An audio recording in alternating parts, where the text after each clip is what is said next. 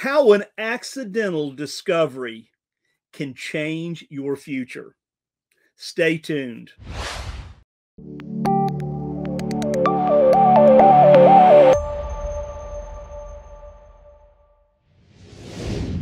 Welcome to today's edition of Note School TV, where every week at 11:05 Central Time, we bring you our Note School TV episode. Guys, you have loved what we've done in the past, and uh, we appreciate that.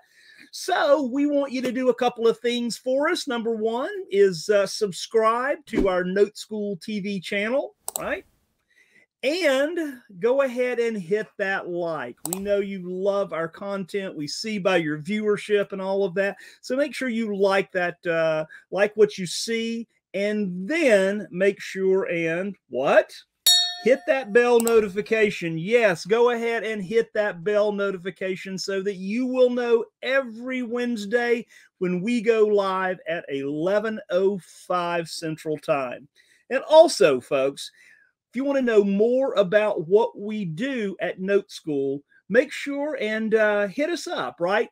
Give us uh, comments in the comment section, or just simply go to noteschool.com forward slash TV. Again, noteschool.com forward slash TV to learn more about what we do, to ask questions, and uh, to learn how to move forward and attend a one day class with Note School with that, um, well, let's talk about the news.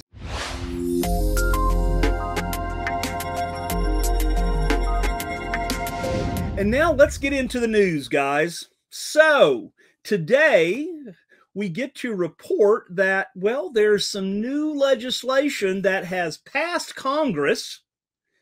By the way, guys, this passed Congress 414 yays, 414 yeses, and only five no's. So this is pretty incredible. The bill is called Secure 2.0, and it is going to take care of some of the the things that well, some challenges with the current IRAs.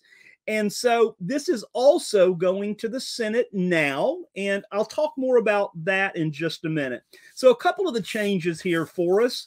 So Roth SEP IRAs, the simplified employee pension funds. Well, now the new bill that's uh, being proposed, which again has passed Congress and is now going to Senate, is going to uh, you can make contributions to a Roth SEP IRA, guys. $61,000 a year versus the current $6,000 a year. And also, you can do it excuse me, a Roth Simple IRA. So now it can also, the Simple IRA is can also be used as a tax deferred Roth. And the new rules are uh, going to affect 401k matching with uh, employers being able to uh, match the 401k in your self directed IRA.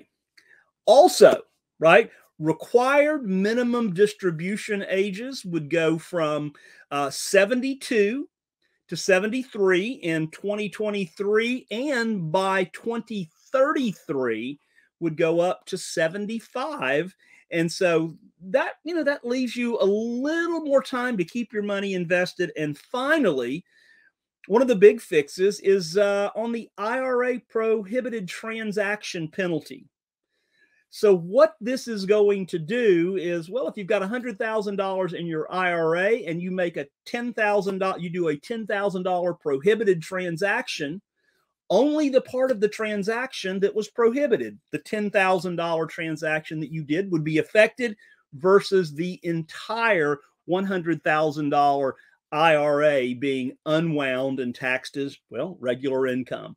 So, some exciting stuff, guys. Just simply contact your senator um, and let them know that you support House Secure 2.0 retirement bill. And uh, let's see if we can get this passed. It's going to be good for everyone in this space. And uh, we'll keep you posted as to what goes on with this. But House Secure 2.0 retirement bill and this is being really pushed by uh, Senator Portman from Ohio, and that's the Portman Cart Portman Cardin retirement security legislation. So, anyway, guys, thanks so much. And uh, that's the news. Let's jump right in and introduce our esteemed leader and uh, chief visionary, all around great guy, Mr. Eddie Speed. Hello, Joe. Good morning. How are you? Very good. Very good. Good news on uh, the IRA front, right?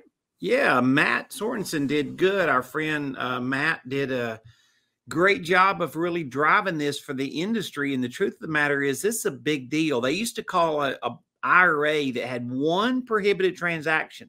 It could be in the middle of a $2 million IRA, and one prohibited transaction for $10,000 could call the whole account to get busted and be immediately taxable. Right. This is a huge deal. And then obviously the additional contributions and that kind of stuff. So let's support him. Thank you for giving them the uh, everybody the information, guys. It only takes just a little bit of time to let your senator. It's already passed through Congress. It only takes a little bit of time to let your senator know that that you support this and uh, let's help out the industry. How stuff gets done, because I've been involved in a lot of lobby efforts and legislation efforts for our industry. How stuff gets done is everybody reacts. It's not the five or 10 people that have to go to Washington, D.C. You would not believe the impact of phone call or email that you could make sending it to your U.S. Senator. And Eddie, I wonder if there's anything that's ever passed Congress 414 yays and five nays. I could I can't well, imagine. That, right? that pretty much shows you that's a deal. So that's a big deal, guys. Um, I have already been in communication uh, with uh, a guy that you you have heard uh, that helps us a lot and has been involved in the Seller Finance Coalition, Jeff Watson, and uh, he's pretty fired up about this uh, result. And uh, so you guys push push on. Let's let's get this done. This will be a big deal. It'll clean up some things in in the advantages of self-directed retirement accounts to even make it more advantageous for us. So, enough said on that. Yeah. So, Eddie, we've got some excite. We're we're starting a series right over the next uh, month or two, and uh, talk a little bit about what that what that looks like as far as what we're going to be doing and what we're going to be talking about. Well, you know, Joe, in your headline, you started out by talking about accidental discoveries. Mm-hmm. And Joe, I'm going to tell you this. Uh, most everything that I've ever done of the greatest impact of for, so, for as far as a direction, as far as a, you know, the next thing mm-hmm. or the next idea or the next strategy or the, the void in the market, most everything I've done to some degree, Joe, I've discovered that I figured it out a little bit by accident. Now, I may have had a vision that there was a possibility. How many light bulbs did they try to make? yeah, uh, uh, thousands before uh, Mr. Edison got that right. And so, and so sometimes I feel like I've been a little bit in the same way. I, I, I know conceptually what there, there's, there's something there, but I kind of lack that snap. I lack that one opportunity. So, uh, one of the things that's influenced me, Joe, in in figuring this out is Note School has done a lot of training. People that have come to mm-hmm. like a two or three day class, right? Um, and we've had a lot of what you and I would call ninja house buyers. Yes, we have. Uh, you know, guys that have bought 100, 200, three or 400 houses a year. Uh, and we've had a lot of these guys that have come through. I would say well over 200 of them. Yeah. And so, you know, obviously they, they came to learn creative financing from us, but we had a lot to learn from them because they're pretty seasoned cats in the business. Yes, they are. And so the big the big controversy, the thing that's been around now for years is you know, Joe, in 2014, the truth of the matter is you make six or eight offers and you get a deal bought. Now you make 26 offers and you get a deal bought. Right. And that so the thing, the thing is, is like, you know, I, I, know in the masterminds that I've been involved in, one of the little terms, the, the little phrases that they they coined was no lead left behind. but the truth of the matter is there was a ton of leads left behind. Yeah. So so if you're a real estate investor, big or small, What what is it the worst thing that happens to you in your business is spending more and more money marketing and getting less and less people that convert to your your offer. That's right. That's And that's where the not only money, it's time as well, right? And re- all all your resources. brain damage, physical damage, lots of capital. Just it's it's the time suck. You know, I used to laugh and say if I could only work on the deals that would close, I could leave my office at 1030 every day. Yeah, that's there you go. Is that, is that what makes sense? That makes a a hundred percent sense. And Eddie, we know that you know again, you've got your stack of of uh, of uh, accepted deals over here, and you've got your stack of not accepted deals over here, right? So, you know that's been a challenge, and and there's been some inherent. The challenges have been inherent, and there's some. We know there's three really big different you know things that that make a deal not you know not be able to work with a seller, right? Well, so compound the issue of price pressure, Right. right? If you're a real estate investor and you've not be- not felt price pressure, then you've been under a rock because Mhm. all of us have, and I have an active real estate investing business as well. And Joe, we're paying prices Yeah. that we were selling for last year. We're Right. paying more than that price this year. And uh, so all of us are doing it. So you have to go. th- This to start forcing us to look and, and learn things differently. And so this has kind of been the path that I'm on, teaching real estate investors how to acquire real estate. Now, this could be houses, it could be land, it could be commercial, it could be all kind of asset classes. But we have a rising, we have a rising market, super rising market, and particularly in the residential housing space. And people are trying to figure out how to survive because your the theory was in this business you were bought you were buying deals at a discount. So all that to be saying that we've taught people to offer terms for a long time. This is not a new subject for note mm-hmm. school. I mean, we've made this a theme forever. But the problem is, Joe, that we used to teach this. Joe, I will give you your price Right. if you take my terms. Mhm. Right? Right. What does a seller say when you say that to them today? Yeah. They're like, yeah, no. Right. I don't need your I don't need your terms to get my price. That's right. Right? And so so how do you solve that problem? How do you fix the biggest objection that people have? Right. I don't need your terms. Is there any trick? Is there any way to say something that would cause otherwise somebody that you had no chance of closing with to turn their head around and go, What did you say? Well, Eddie, you know, I think that that there's one thing that most people do not like to pay, right? We're not going to hold on. I'm doing a setup here, Joe. Okay, all right. You know we're going right. to answer this question after the break. we're going to have a message from a from a training part of note school that that goes into great detail about solving this very problem. Let's hear a word from our sponsor. We're going to come back and talk about what that answer they want to hear is. Perfect.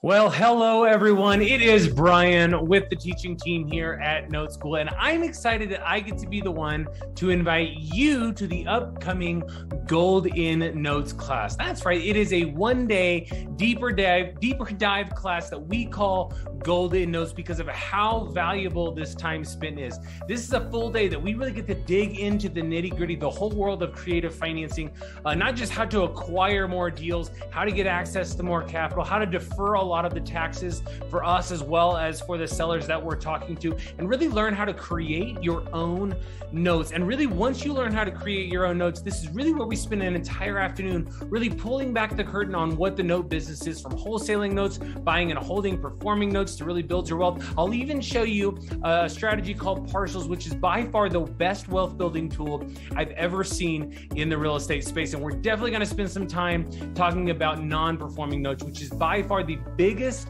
opportunity in today's marketplace solely because of the events that have happened over the past couple of years. This is when people are not paying their mortgages, and we're going to make a lot of big money from these bad debts, and we're going to help a lot of people get a second chance. It's an absolutely fantastic day. Come spend a day really digging and discover a lot of this stuff so that you too can start building your wealth. It's a day meant to really be engaging. Bring your questions, bring your comments, bring your business problems, and we will see you there. You know, one of the things that that Joe, you and I have discovered about doing training is it allows us to unpack a story. It does, right? Because sure. we all know that a little bit of the internet is the microwave process. Mm-hmm. Just give me the microwave answer. I don't want no crock pot stuff, Eddie. Just give me the microwave, right? And sometimes the problem is, is the microwave. I mean, the the crock pot process makes gives us clarity that the microwave doesn't. Now, um, so let's talk about this. Yeah. So I, you and I, Joe, were teaching guys how to buy on terms, and we were we became very innovative in doing this. We couldn't, even though I'd been doing it for decades and you had too. We just one case study after another figured out stuff we hadn't figured out before. It was very fun for us. We had a lot of students that were closing deals, buying on these creative terms, and selling sellers were carrying their payments over time. But the reason they were really doing it is, is they didn't want to discount their property, and this was a way that they could get their price, and and but they would have to carry that they would have to carry their profit over time. Right. Now I said something really important there, Joe. Carry their profit. That's right over time. And so one thing led to another, one conversation with one kind of industry expert over the other, most all of which were, you know, involved in some of the masterminds and things that we do. These were all what we call the ninja house buyers, right? Mm-hmm. And then all of a sudden, I started pointing out something, Joe, you and I've known for decades. Yes. It's not, this was not like some blazing announcement that came over like you did this morning about IRA issues, right? This was like, this was like, we've known this forever. Yes. And then about the same time, then all of a sudden we started hearing about potential legislation. Yes. Right. Now we were teaching this concept before then. Now, Joe, I'm going to admit to you that I did not have any involvement in writing the state of the industry that President Biden did earlier this year. I had no involvement in it. I, they didn't call and ask me any questions. Hmm. But I'll tell you what, had they called and asked me what I would like for him to say, I would like for him to have said what he said. Because what he said was, that he wanted a fair taxation. And a fair taxation, in his view, was that he felt like wealthy people were not paying their fair share. and he referred to this, the strategies that wealthy people used, referred to them as tax loopholes. Yep. And Joe, this strategy that you and I've known for years that we fail to point out to our students and our people we were trying to buy from jumped off the page at you and I. Mm-hmm. Now, once again, it we had already figured it out at this point. But when the president said it, he also said that his goal was to shut these loopholes down. Right. meaning that what you wanted to be called at that point, Joe, is grandfathered in. That's right. Meaning that you had already taken advantage of this. Now, Joe, I don't think to date in this conversation we have mentioned what this tax loophole is, have we? We have not. So the IRS has allowed people for years to defer paying their capital gains. That's been around for decades. It's not mm-hmm. a new law. It has been around for decades. It probably is a tax loophole, right? It's called installment sales. That's right. And installment sales simply says that you can defer your capital gain and pay your capital gain when you actually collect it, meaning that the seller could carry terms for you. And those terms over time allow you to stretch out your capital gain over Joe. It could be as long as 30 years. That's right. And so with that angle, we we had already repositioned how we taught this. And we're going to have a lot of students on in the next call it couple of months. And they're going to be on and they're going to talk about their stories and how this actually worked. Like how they use this as a hook. But Joe, I will say one thing. If you're a small-time landlord who we know statistically a high percentage of them don't love their investments, it's too much of a job. It is. It's been a the, the real estate's been good to them. The headache related to the real estate's been bad to them. Could be the tenant, could be just property management, yeah. could be, you know, could be whatever, right? Just the grind. Most people, most small time investors truly are not suited to be small time landlord and property managers. Right. Right. We just have seen this. This is this is not a secret in the industry. I'm sure that it's not a secret to you guys listening today, but it is a secret to people that don't know better. well, uh, you know, I have people all the time, Eddie, say, "Well, why didn't they just do? Why didn't they just get into the note space?" And it's because they just didn't know. They didn't know what they didn't know. They were looking for passive income, and that was as close as they could get in the in the in the bricks and mortar, the real estate side of the business. That was as close as they could get uh, to to a passive income. All right, so Joe, let's pretend for one moment that you're that small time landlord. You own three to five rentals. Right. You're managing them yourself. Right. You and your wife can't even talk about the rental property anymore. It's not on the table for conversation. Right.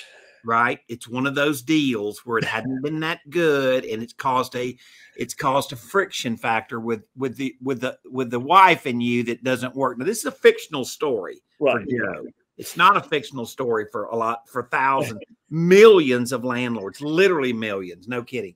Yes. So every real estate investor knows this, but here's the thing. Joe, you don't need the money. No.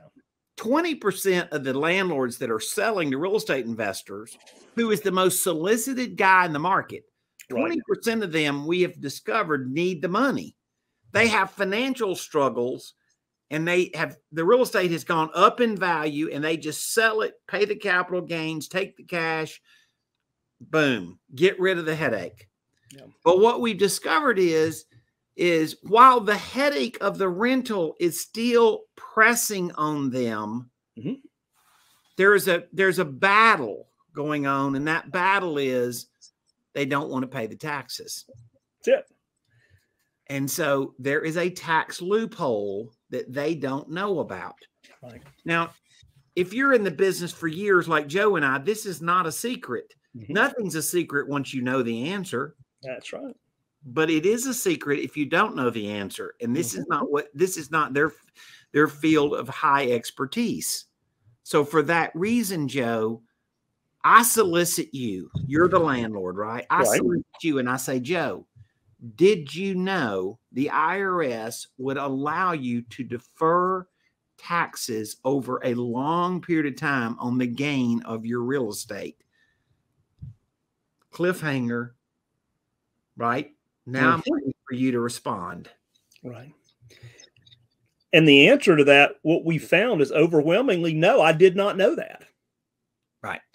So now that I've done that, Joe, what has happened to me is pretty simple. I'm no longer having to say, Joe, I'll pay you your price if you give me my terms. You see what I'm saying? Which Right. is a tough position in negotiating Mhm. in today's environment because of the market. But what I say to you is, Joe, the IRS is going to allow you to pay take your payments over time right. and allow you to defer how long it is to do it. And hmm. Joe, I can't I can't speak for t- future tax laws, but I would say virtually every accountant and every tax related attorney I know pretty much tells me and I'm not rendering tax or legal advice here, hmm. but they tell me that what, historically happens is that if you've done this and they change the law, then they grandfather in what was done while you made that change. While you did that, the law was in place. So, Joe, if you wait two years from now, you may not ever have that option again. The door may have closed. Joe, if you know something about sales, right, there has to be a sense of urgency, There has to be. right? So now all of a sudden, the sense of urgency is what if they close this loophole down? That's right. I'm I'm pointing out a loophole that you never knew about. Right? I'm showing you I'm showing you how you can do it. I'm showing you an urgency of acting on it now versus waiting till year after year and all of a sudden you wake up and the tax laws changed. All of those things become a high motivation. Now Joe, I haven't had to say you're going to have to accept my terms one single time in this conversation. That's right. You get that? That's it. So we have a little joke around my shop. I don't know who said this. I don't know. I don't know that I originally said it myself. Maybe somebody that was helping us with some marketing came up with the idea. I, I really don't know. But I know that we believe the statement fairly well, Joe, and that is this it only takes five minutes to come up with a great idea. You just don't know what five minutes that'll be. That's right. So we accidentally figured out what we just described to you guys. We've been teaching this for several years. We've had many, many real estate investors from the small guy that does, you know, two deals a year to 10 deals a year to 200 deals a year to whatever, all big and small, right? Teaching them how to get better utilization and not go burn so many leads, right? That's what we were doing. But the strategy is is that we didn't give them the hook then that we then later learned to give them, Right. which was the tax loophole look. And I literally can tell you, Joe, from my personal experience, when I was sitting there watching the State of the uh, Union Mm-hmm. On uh, on TV, Mhm. right? When I was watching that, and he, the president, came up and started talking about tax loopholes. I about ju- I, I have a fairly high ceiling in my house. Yes. I almost hit my head. Okay, that I mean, instantly when he said that, I had been saying it, but I hadn't said it exactly exactly the same way, right? I just talked about a little known tax strategy. I was just calling it a little known tax strategy. And all of a sudden, when he said tax loophole, I'm like, kaboom! There it is. Yep. Eddie, you know, it it again, as as you said, five minutes. But let me tell you, this this is something that it- that is huge. It is the the piece that it's that that cherry on top, right? You get you've got to own your property for a long time. You've got to you've got to capitalize on the appreciation that we see and that's still going on. And then when you sell it, instead of having to write a big check, you just get to pay your taxes on that gain over the next 30 years. Yeah. And Joe, one of the things that we're going to do in some story that stories that we're going to tell is we're going to say how do you once you buy this house, how do you exit it? Right. And I'm older, you're older, Mhm. and so you know, we lived through some catastrophic markets. So we have some safety up ideas, right? We're not saying you can't go make a rental work, but maybe if the maybe if the market is so rich, so seller friendly, maybe it would be smart for us to resell it on a wrap note. Absolutely. You see what I'm saying? Because yep. I can get an inordinately high down payment. I can sell it at the top of the market. And now all of a sudden, as rising interest rates, the you know what what's a good seller finance rate is becoming close to what the mortgage companies are charging, right? That's right. So understand there's some the market is just laying out this path for us that to some degree we couldn't have like written it better than it already is, right? The market is is the the path it's laying out in front of us that the market is dictating. We we have a very effective strategy that we can do that. So, Joe, if if I sound passionate, it's because I'm passionate about this. You know, it's it's like you know we we shared a text last night. I said er, it looks like you know the stars are aligning here and, and we couldn't have asked them to align any more perfect than they have yeah so you know a lot of lot of lot of interesting things and for us like you said rates going up you know hitting on 5% here pretty quick makes it makes our job even more easy than it than it has been in the past and so guys check out publication 537 irs publication if you want to read more about installment sales and what that means but yeah check that out. And uh, eddie final words? Uh, we're gonna we're gonna do a little series on this and we're gonna have a lot of examples of students that have done it and we're gonna talk about their personal story mm-hmm. how they transitioned over to this side of the business kind of what they were doing before and how it did it.